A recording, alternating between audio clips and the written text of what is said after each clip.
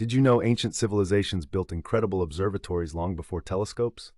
Here are the top five ancient astronomical observatories that shaped our understanding of the cosmos. 5. Chanquillo, Peru, 4th century BC. An ancient solar observatory with 13 stone towers, Chanquillo was used to track the sun's annual movement.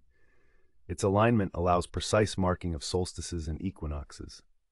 4. Stonehenge, England, c. 3000 to 2000 BC. This prehistoric monument's stones are arranged to frame sunrise on the summer solstice. Archaeologists believe it functioned functioned as a solar calendar and ceremonial site.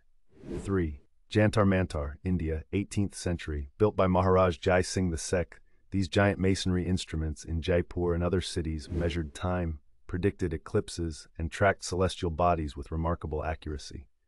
2. El Caracol, Mexico, c. 900 AD. The Mayan observatory at Chichen Itza features windows aligned with the movements of Venus and other planets, reflecting the Mayas' advanced astronomical knowledge. 1. Babylonian Ziggurat, Iraq, c. 7th century BC. Babylonian astronomers observed the skies from ziggurats, recording planetary motions and eclipses, laying the groundwork for early astronomy. Follow Timetoria for more epic history videos.